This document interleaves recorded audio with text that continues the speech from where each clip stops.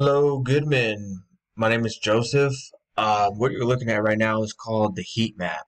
So anybody using the internet to look for a service or product that you provide, such as painting, they're going to get results, right?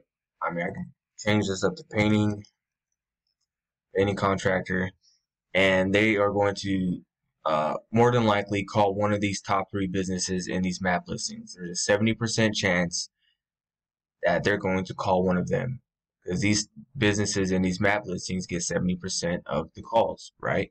So let's just pick an area. You're number four in this area right here by the industrial park, which means they got to go through these top three businesses just to get to you. And in every other area, uh, let's go with uh, over here by the NS Inman yard. It's just an example, right? You got these top three businesses and they have to go through all of them just to find you. Do you understand?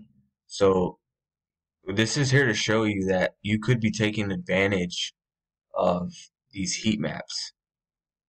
And when you know you're not in a ranking in a particular area, you can focus on that and you can start getting more calls and making more sales in those areas. I'm just going to pick another business. Let's look for JL Painting. So JL Painting, uh, they're getting the first calls in this area right here. That's where they're getting the first calls from, right? Because they're that's where they appear in the map listings. So in this next video, I'm going to show you how to do that.